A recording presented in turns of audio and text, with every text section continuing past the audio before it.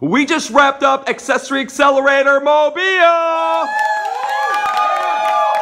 We got Melissa, Donna, and Ashley in the house. Melissa, first question, George, man, how do you feel? Oh my God, I feel so good. I feel motivated. I'm ready to go back and show my customers how they can buy more and save. I love it. Donna, you are one of our prize winners at Accelerator. What is something that you learned that you're going to bring back to your store? I think it's amazing that your UE speakers can hook up to infinite amount of speakers. So whatever size party you're having, you can take as many devices. That's a new feature called Party. I'm pretty cool, huh? Awesome. Ashley, last one, George, man. I know you've been to a lot of AT&T training programs. In fact, I want you to rank ours on a scale of 1 to 10, 1 being the worst, 10 being the best. What do you give this program?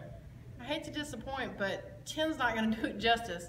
We were able to, to work with everybody in our market and to learn and empower off each other and get tips and connections. And not only that, but learn about everything that's going to help enhance our customers' lives.